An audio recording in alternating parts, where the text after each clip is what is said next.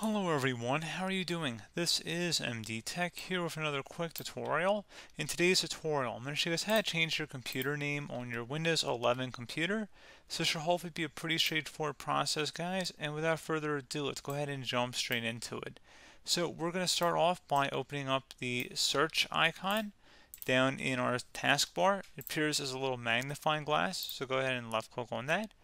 You want to go search for control panel Best result should come back with control panel. Go ahead and open that up.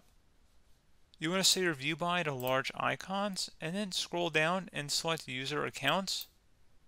Go ahead and select that. And then select where it says change your account name. And then insert whatever you want your new account name to be. Select change name once you're done with that change. And that's pretty much it. So pretty straightforward process guys. Do hope I was able to help you out and I do look forward to catching you all in the next tutorial. Goodbye.